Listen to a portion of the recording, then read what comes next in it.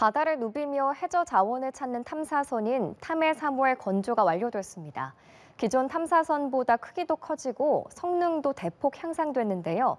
내년 4월부터 전 세계 해역을 돌며 해저 자원을 탐사하는 역할을 맡습니다. 이마경 기자입니다.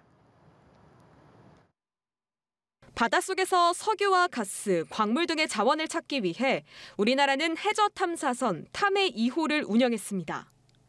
지난 1996년부터 25년 넘게 활동했는데 배가 오래된 데다 그간 기술도 발전하면서 최첨단 탐사 장비를 갖춘 새로운 선박이 필요해졌습니다. 기존 2호를 대신하기 위해 제작된 탐사선이 바로 탐해 3호입니다. 지난 2018년부터 설계돼 이번 달 조립까지 모두 마쳤습니다. 6,000톤급 탐사선으로 최첨단 장비 35 정도 탑재됐습니다. 2호보다 크기가 3배 넘게 커지면서 더 많은 장비를 실을 수 있게 됐고 탐사 면적도 넓어졌습니다. 탐해 3호는 해저 자원을 찾는 역할과 함께 이산화탄소를 저장할 땅속 장소를 찾는 임무도 수행할 예정입니다. 해저 단층 조사를 통해 국내에서 지진이 발생하는 원인 분석에도 나설 계획입니다.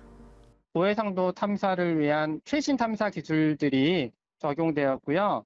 국가 에너지 자원, 기후 변화 등 국민 안전 문제 등을 해결할 수 있는 다양한 연구에 활용될 것으로 탐해 3호는 시운전을 거친 뒤 내년 4월에 공식 취항합니다. 외국과 협력해 활동 영역도 북극해 등 전 세계로 넓혀나갈 예정입니다. 연합뉴스 TV 이마경입니다.